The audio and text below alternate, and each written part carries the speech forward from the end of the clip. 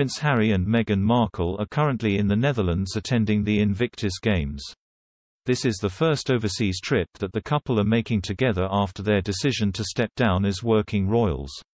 A video, posted on Twitter by ITV News royal editor Chris Ship, showed the Duchess hugging the Games team before she headed away in a golf buggy.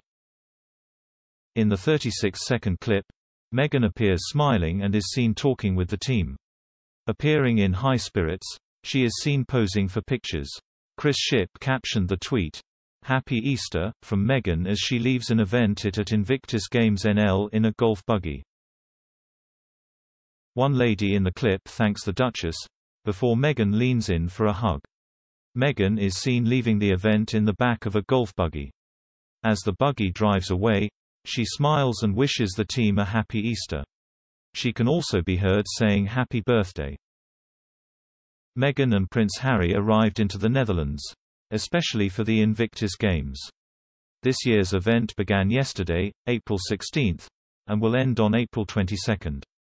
Meghan's attendance at the Invictus Games was confirmed by a spokesperson for the couple. The 2017 Invictus Games opening ceremony was held in Toronto. This marked the first time that Meghan made a public appearance at one of Prince Harry's events.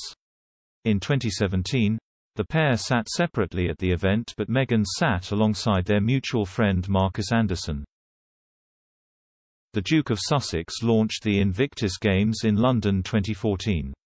It is an international sporting event for wounded, injured and sick servicemen and women, both serving and veterans.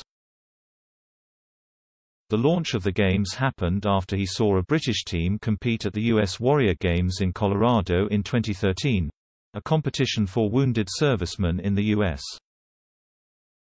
Earlier this month, it was revealed that Meghan and Harry will be followed around by a camera crew at the event. This is after announcing the production of Heart of Invictus last year. This is the first show of their multi-million dollar deal with Netflix.